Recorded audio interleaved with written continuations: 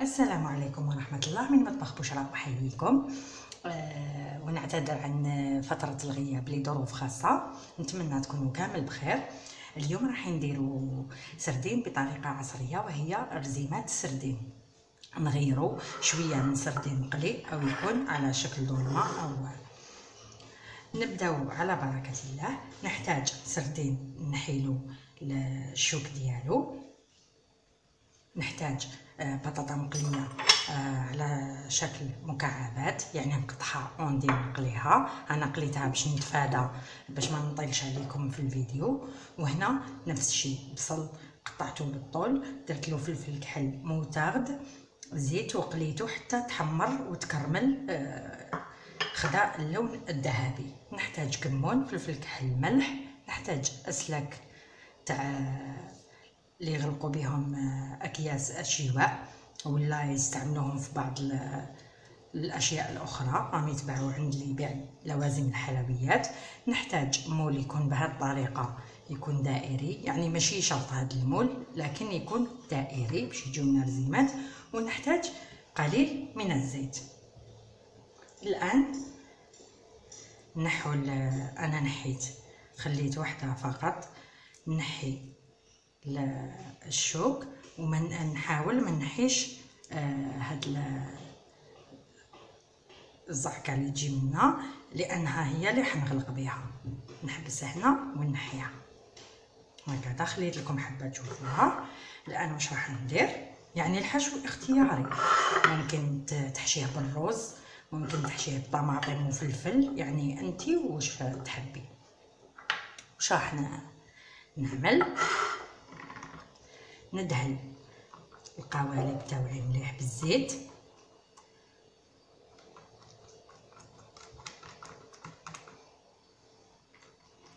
ممكن أيضا باللحم مرحي لكن راح يجي طبق مكلف لأنه سردين كما نعرفوا راهو آه، باهظ الثمن خصوصا في فصل الشتاء. يعني تزيدي له اللحم راح يكون لك طبق. مكلف. واش راح ندير؟ نرشو بشوية تاع الكمون.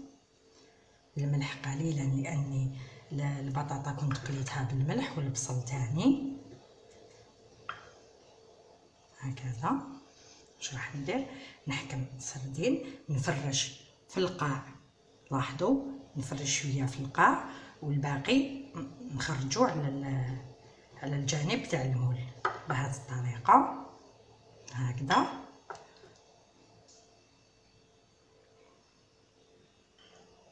نحط واحدة قدام واحدة على حسب الكبر تاع المول آه، تاعك.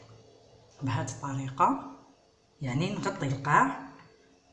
واللي باقي نرميه على الحواف تاع تاع المول الآن واش راح ندير نحط قليل من البطاطا.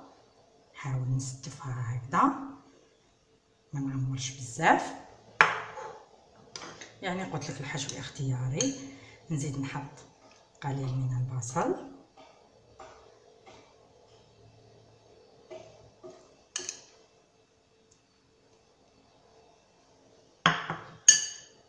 بعدها اش راح ندير؟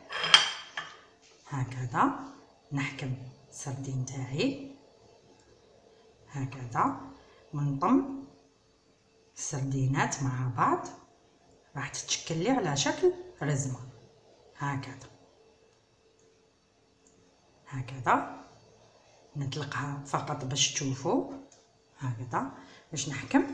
نحكم العود تاع الشواء. نحاول نغلقها برفق. باش ما تنحليش.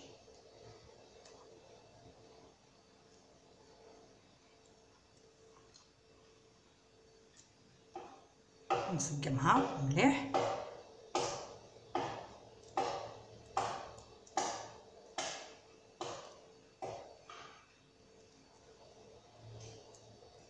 هكذا نعاودو واحدة أخرى.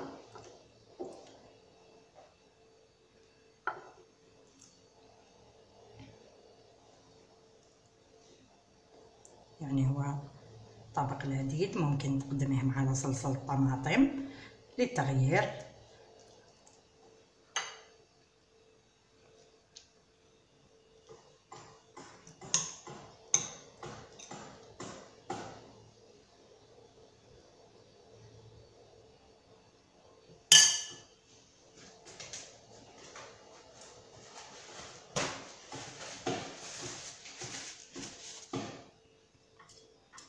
نعاودو أخرى. نتمنى الإضاءة تكون كافية. باش يبان لكم الفيديو بأحسن صورة. نحكمو رزيم السردينات عفوا. نطموهم مليح. ونغلقو الرزيمة تاعنا مليح. ندور عليها. داك السلك. الشيبة هكذا. نحاول نسقمها باش تاخذ لون آه أو عفوا شكل القالب. أنا نكمل المول نكمل كامل الثغرات اللي عندي. وكي نكملو نوري لكم كيفاه نكملو الوصفة. بعد ما عمرت كامل الفراغات اللي كانوا عندي الآن واش ندير؟ أنا نرش عليهم قليل من كمون فلفل أسود.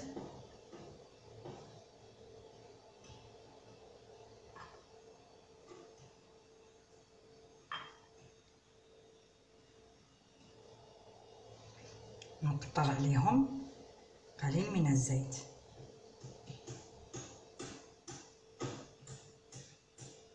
نكون مسخنة الفرن تاعي ندخلهم يطيبوا لتحت ومن بعد نشعل عليهم شعل خفيف من الفوق برك ياخذوا برك لون ونحيهم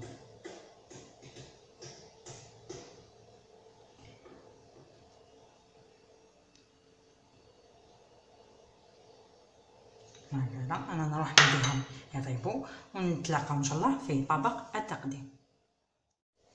الطبق تاعنا تاع نهار اليوم راهو جاهز كما راكي تلاحظي. رزيمات تاع السردين تاعنا وجدوا آه خليتهم بردوا شوية لما نحيتهم رافقتهم بصلصه طماطم آه كنت كانت عندي. صلصة عادية درت فيها كمون وثوم آه قليل من البطاطا اللي شاطت لي زينت بها مع قليل من المعدنوس. يعني والحاجة اللي ترافقي بها كل وحدة والذوق ديالها. آه ملاحظة ما تخليهاش يطيب بزاف لأنه نعرفوا السردين يكون طري وما يحتاجش وقت طويل باش يطيب. آه لما يطيب نحيه خليه يبرد شوية من بعد رفدي السرد الرزيمات تاعك وطريقة التقديم كل وحدة ولمستها. نتمنى تعجبك وصفة اليوم. أه وتجربيها خصوصا لما يكونوا عندك ضيوف تحطيها زيادة. أه تبارطاجيها لصديقاتك يستفادوا معنا تعملي لي جيم لا فيديو وتزوريني على صفحتي على الفيسبوك مطبخ بشرى تشتركي في القناة وإلى اللقاء في فرصة أخرى إن شاء الله.